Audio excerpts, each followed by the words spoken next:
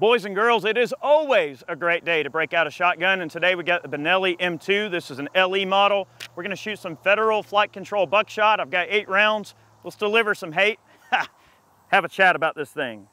Probably one of Benelli's best shotguns. I love this freaking gun. Let's have some fun. Yeehaw.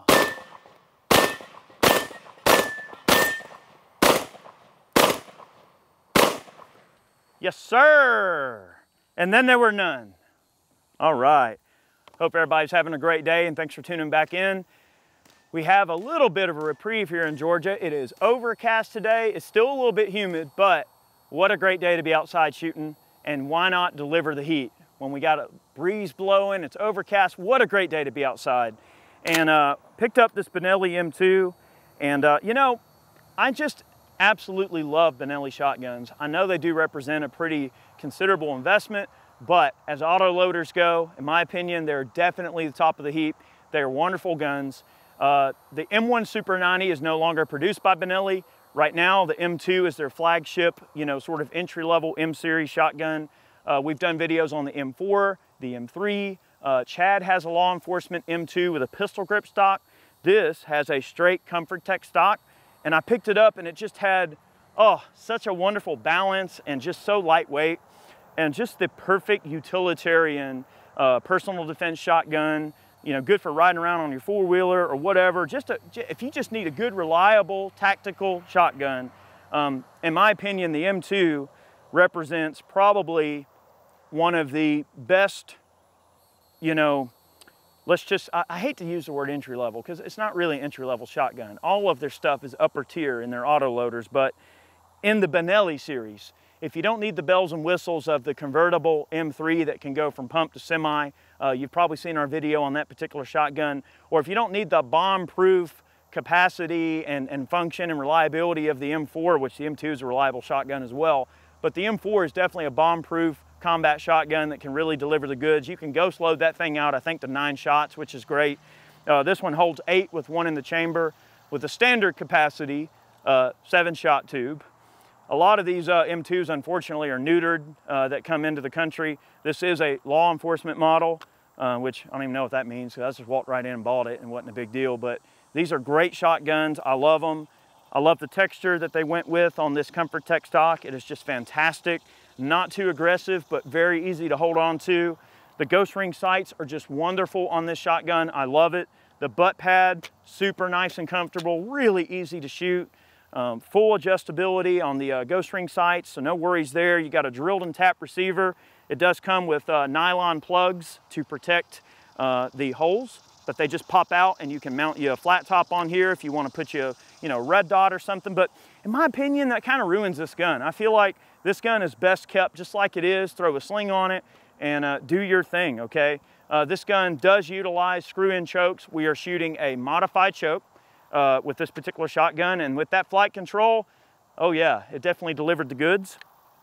We're gonna break out some slugs and we have some watermelons. And this time we are going to shoot some Brenneke offerings. Now, we just filmed a video on the Supernova, which is the pump action version, uh, you know, from Benelli's line that is fantastic. And they do represent a really nice value uh, in a shotgun. But we're gonna take a couple of slugs and I'm gonna shoot a different slug at each watermelon. Now in the last video, I ruined the shot because I missed the middle watermelon. This time, I'm gonna hit all three, dang it, if it's the last thing I do. And we're gonna shoot the watermelons in the same order as the previous video. So we have the one and three eighth ounce Brenneke Black Magic slug. Uh, it's getting 3,000 foot-pounds of energy at the muzzle, moving at about 1,500 feet per second with a one and, one and three eighth ounce or 600 grain slug. Uh, this slug is bad news bears, and no pun intended on that, but believe me, all right? We're gonna shoot a, a Brenneke Special Forces short magnum, okay? Uh, specs on that, we've got 1476 at the muzzle generating 2,500 foot-pounds of energy. And then we'll follow up with an anti-terror slug from Brenneke. These are moving 1690, generating 2639 foot-pounds of energy. Very, very cool. And that's a one ounce slug, so a little bit less weight, uh, but the construction of this slug, they're supposed to be able to shoot through a lot of gnarly stuff. So, all right, last is the ATS. Middle is the Special Forces uh, barrier penetrator, and then we've got the, we're gonna start out the party with the uh, big and mighty Black Magic. Now, this is gonna kick pretty hard, but hopefully this recoil system will help, and this Comfort Tech, Tech stock will help with the recoil. Black Magic on the right, uh, Special Forces Short Magnum in the middle, and then our anti-terror slug on the left. I'm gonna work my way right to left, one slug per watermelon, just so we can sort of compare and see what they look like, okay? Let's have some fun. And these should be real nice through our modified choke. These are all Foster style slugs, uh, so absolutely no problem shooting out of a, out of a choke, uh, as long as you don't exceed modified. Modified's as tight as you wanna go on slugs. Okay, especially with any, anything other than a, a Foster style slug. And what I mean by that, you notice that the edge of the slug has these ridges on it, okay? Now those ridges serve a couple of different, uh, you know, functions, but the main function is because where the ridges are, the, the material is real thin, so they can pass through a choke without any type of an issue, without causing extreme pressure or causing any damage to the gun okay? That's what that Foster cut is for. Now also, it does kind of help them spin a little bit as well, but not much out of a smooth bore. Okay, here we go. Right to left. You ready, Chad? All right, here we go. Whoa, yeah. Not bad at all. Not bad at all. I had watermelon literally land right here from all the way over there. Uh, now that Black Magic had pretty, pretty decent little, little thump going on there. Okay, that, that, that's gonna leave a mark on, on my old shoulder, okay? But, uh, you know, that is quite the load. All right, we've got some military buckshot. We'll have a little bit more fun here. Oh yeah, beautiful, beautiful, beautiful, okay? Now, uh, one question that some of you may have uh, uh rolling around in your little heads uh, you cannot ghost load the M2, the way the bolt is cut on this gun and really just the design of the gun itself. Uh, the M4 is cut to where you can slip around on the, on the carrier, under the carrier with a full tube and you can get, I believe it's eight shots in the Benelli, but this, this gun you're gonna be down one uh, because you can't ghost load it. And the thing is, ghost loading is not very practical anyway. It's not something you're gonna do, you know, unless you just kind of, you know, you have the gun staged with it ghost loaded. Yeah, you can do that but you're generally not gonna, you know, ghost load on the fly. But it's just kind of a, a way to sneak an extra round in there. Uh, the M2 will not ghost load. Um, what a fantastic gun. One of the, uh, the chief differences on the M2 as well is also the charging handle on the bolt. Uh, uses more of a kind of a sporting style with just a little knurled, you know, lever there. Uh, that's a little bit different than the other offerings from Benelli, and I would imagine that's also a cost-saving measure. Uh, these guns do represent the most affordable auto loaders uh, that are out there. And, and look, when you look at the three gun and competition realm, you're gonna see a lot of M2s. And there's a reason for that, because the M2s are super, super reliable shotguns. They always work, right? Uh, we had our, our buddy Barry over at Crazy Quail. We were at range day one time. He brought his Crazy Quail machines out. And if you haven't seen those things, they're insane. I might even have some footage floating around of us shooting those things. And he has some M2s set up on those X-Rail things. I don't know if you've ever seen them. It's like a drum magazine that goes on the end of the M2. And it, it, it, I don't remember if it's helical or if it just automatically indexes, but I think it holds like 30 shots.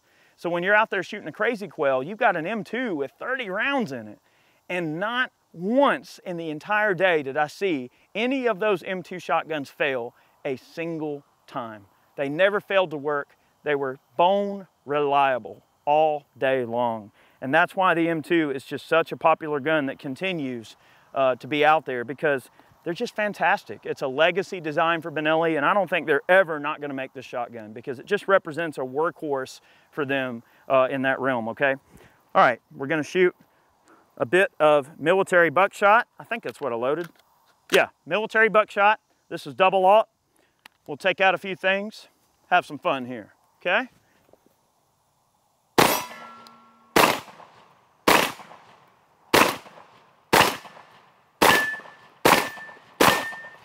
Yes, sir. All right. That's good stuff. I wanted to kind of showcase this gun and, uh, and show it off a little bit.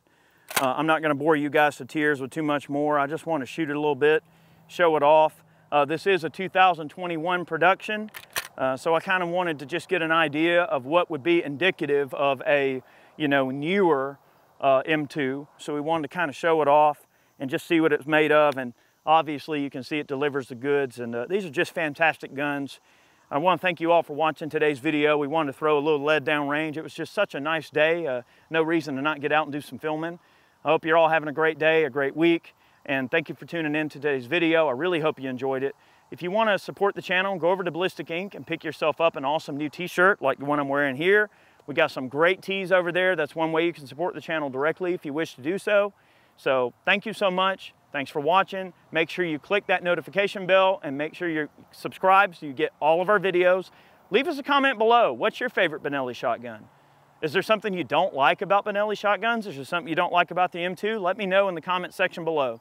Have a great day. Many more videos on the way. We'll see you soon.